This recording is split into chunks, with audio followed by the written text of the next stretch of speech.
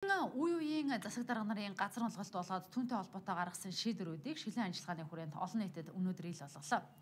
За нийслэлийн засаг даргаар 2000 оноос хойш ажилласан 9 хүн нийтдээ 311 сая метр квадрат газрыг бусдад олгосон байна.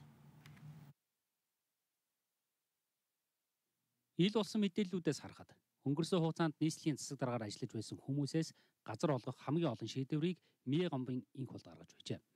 Түүний хувьд хотын дараагаар 1999-с 2005 онд ажиллахдаа 7347 шийдвэр гаргасан байна. Бусад засаг дарга нарын гаргасан шийдвэр болон газрын хэмжээ графикаас харж болно. Батүл 1888, Суу Батболд 1381 удаагийн шийдвэр гаргасан бол одоогийн хотын дарга 621 шийдвэр гаргажээ. Батбаясгалан хотын даргын үүрэг гүйцэтгэгчээр ажиллаж байхдаа 174 шийдвэр гаргасан байна.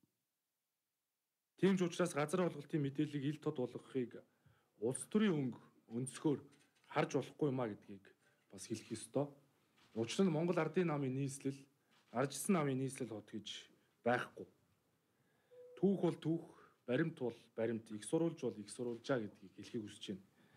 Ил тод мэдээлэлд аль нэг нам улс төрийн өнцгөөс алагчилж ялгуурлах боломж хүнд ч байхгүй. 20 жилийн түүхэнд хотын дарга асан Батүүлгаан гарын үсгч байна. Монгол Ардын намын гишүүн хотын дарга нарих бүр олон байна. Энд би өөрийн хувийн дүгнэлтийг өгөхийг хүссэнгүү. Хэн бүхэнд ил байгаа мэдээлэлд хэрхэн яаж хандах, аль нэг нь онцлох нь иргэн таны сэтгүүлч та бүхний эрх үүрэг. Нийт олгосон газрын 73.8%-ийг дотоодын хуулийн этгээдэд, 19%-ийг гадаадын хуулийн этгээдэд, 3.6%-ийг төрийн байгууллагад, 3.4%-ийг гадаадын хөрөнгө оруулалттай хуулийн этгээдэд олгожээ. Ил болсон мэдээллүүдээр анализ хийж хардах үндсэлтэй байвал ямар ч иргэн хууль хяналтын байгууллагад хандах боломжтой.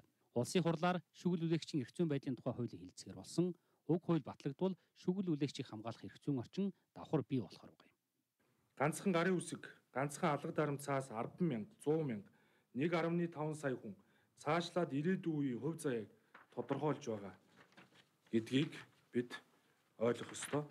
Тийм ч учраас иргэн энгийн нэг иргэнээс авахуулаад Монгол улсын төрийн тэргуун төртөл мэдрэгдэж байгаа өнөөдрийн энэ хотын төвжирэл төвлөрөл өнөөдөр ямар байдалд хүрэх вэ гэдэг дээр бид нар бас үнэлэл түгэлтэй хийх ёстой хаа гэж бид үзэж байна. Нийслэлийн аль дарга тухайн үед ямар компани аж ахуй нэгжид газар олгосон. За түүнийг нь ямар компани аж ахуй нэгж одоо худалдаж аваад За түүнийг нь үндэслээд өөр ямар дарга зориултыг нь өөрчилсөн бэ нь ч гэсэн энд тодорхой байна.